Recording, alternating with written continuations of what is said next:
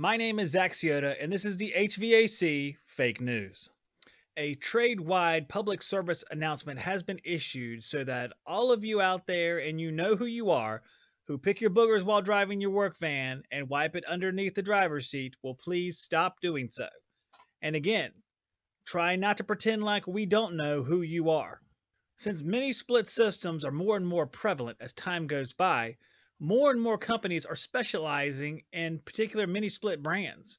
The problem is the techs become confused when they transfer back to regular unitary brands.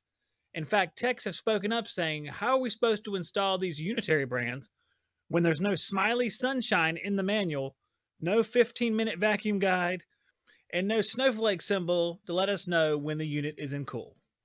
Joe Shearer, a famous YouTuber, company owner, and Floridian, was on the show last week. He told us about the fabled fiberglass tree that is used to make ductboard.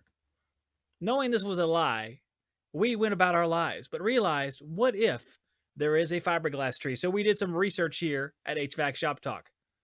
We found out that there is a fiberglass tree. One man reported from South America, Colombia to be exact, that he went deep into the jungle to find the tree, located it, came back out alive.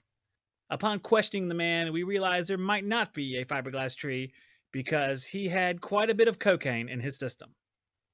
Speaking of ductboard, we know that many of you rail against ductboard and make fun of it, myself included.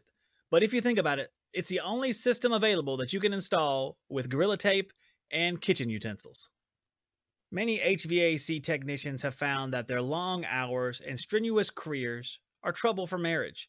So we did some psychological research to find the best way to deal with a married life while integrating your HVAC life.